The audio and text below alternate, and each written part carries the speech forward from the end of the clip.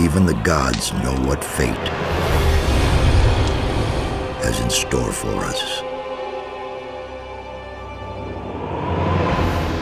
I thought you were dead.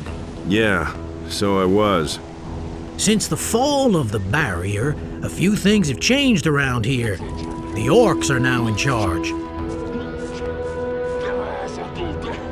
With his final furious scream, the sleeper has set into movement the armies of darkness, even the dragons.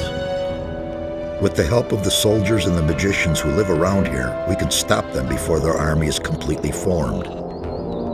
We do not have much time left, but one thing is certain. He's back. We stand between the Order of Innos and the chaos of Beliar. If one of the two sides should gain the upper hand, it will mean either total loss of freedom or deadly chaos. You humans are curious creatures.